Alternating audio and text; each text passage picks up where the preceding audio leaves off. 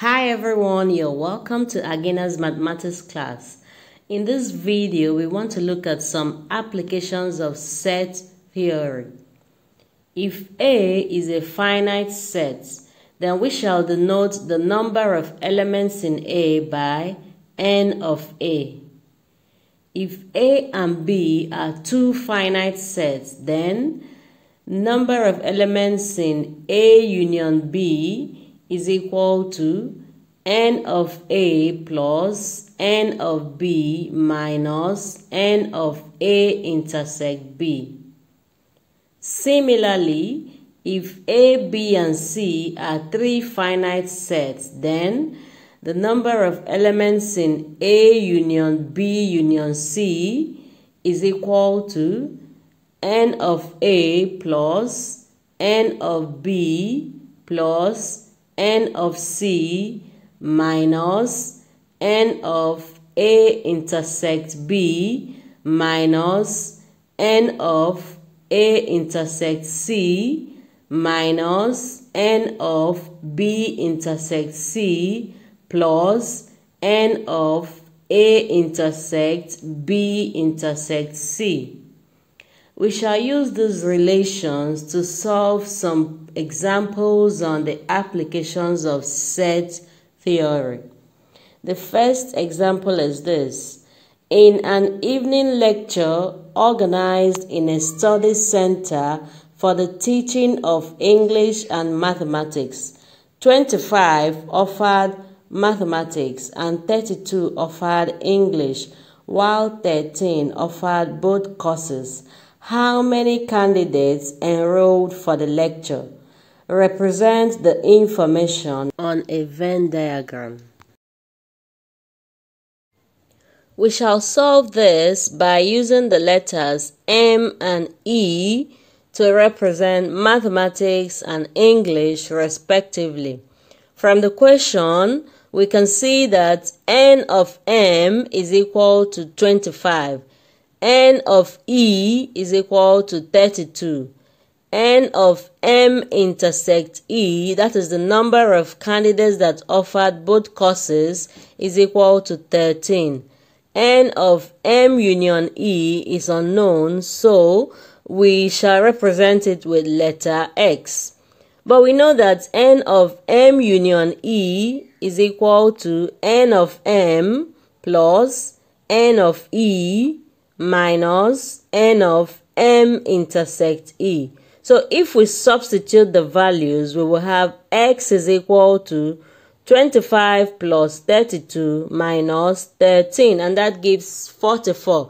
So 44 candidates enrolled for the lecture. Now this is the Venn diagram that represents the given information. In the diagram we have two circles, one for mathematics, and the other for English. On the intersection, we have 13, while on the circle for M, we have 12 and 13. The sum gives 25. On the one for English, we have 19 and 13. The sum gives 32. So, we can now go to example 2. In a class of 42 students, each student offers at least one of music and physics. If 22 students offer phys physics and 28 students offer music, how many students offer both subjects? Represent the information on a Venn diagram. Alright, let's solve this we will write down what is given to us in the question. Now from the question, we can see that n of p, that is number of students that offer physics, is equal to 22. n of m is equal to 28. n of p union m is equal to 42 n of p intersect m is unknown, so we represent it with x. But we know that n of p union m is equal to n of p plus n of m minus n of p in intersect m. So if we substitute the given values into that equation, we will have 42 is equal to 22 plus 28 minus x. And if we solve, we shall have x is equal to 8. That means the number of p intersect m is equal to 8, which means that 8 students offer both subjects. Now this is the Venn diagram. This is the Venn diagram that shows the information given to us in the question. We have two circles here again, one for music, one for physics. On the intersection, we have 8. On the circle for physics, we have 14 and 8, and the sum gives 22 while on the one for music we have 8 and 20, the sum gives 28. Now let's go to example 3. In preparing a timetable for a class of 38 students, the following facts were taken into consideration. 25 students take history, 27 take French, 28 take agricultural science, 20 take both history and French. 23 take both French and agricultural science, while 21 take both history and agricultural science. If 18 take all the three subjects, how many students offered none of the three subjects? Express the information on a Venn diagram. Now let's look at the solution. From the question given to us, uh, we have um, the number of students that offer history is equal to 25. So, n of h is 25. And the number of students that offer French is equal to 27. So n of f is 27. Then those that take agricultural science is 28. That means n of a is equal to 28. Now let's look at the intersections. Those students that take both history and French are 20 in number. So we have n of H intersect F equal to 20. Then those that take French and agricultural science are 23 in number.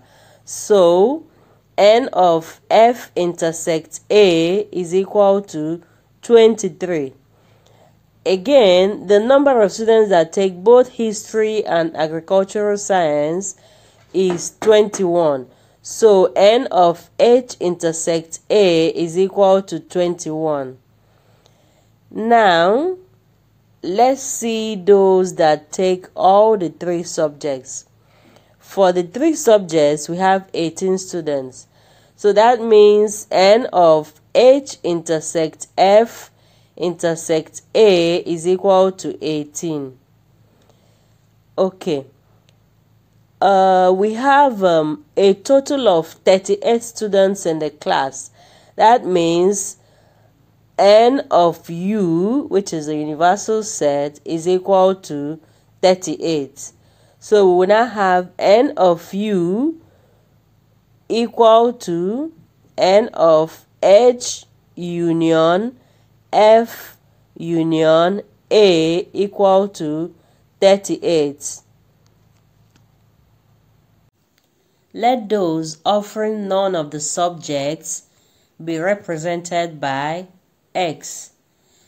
Then the number in the universal set will be equal to the number of students that take history plus the number of students that take French plus the number that take agricultural science minus the number that take history and French minus the number that take both French and agricultural science minus the number that take history and agricultural science plus the number that take history, French, and agricultural science plus x, which is the number that take none of the subjects. So if we put in the values, we will have n of u is equal to 25 plus 27 plus 28 minus 20 minus 23 minus 21 plus 18 plus x. So, uh, we will obtain 38 is equal to 80 minus 64 plus 18 plus x. And if we continue solving, we will have 38 is equal to 34 plus x. And x is equal to 38 minus 34, which gives us x is equal to 4. Therefore, the number of students that offered none of the three subjects is 4. Now here is the Venn diagram that represents the given information. You can see in the Venn diagram that we have three circles there. One for French, history, and agricultural science. And all the values have been put into the right portions in the circle. So you will look at it and uh, see how the values were fixed in there. Okay, thank you for watching this video. Please don't forget to like and share. And if you have any comments, you can put them in the comment section. If you haven't subscribed to this channel, please do so right away and turn on your notification bell so that you'll be notified of our uploads. Thank you once again.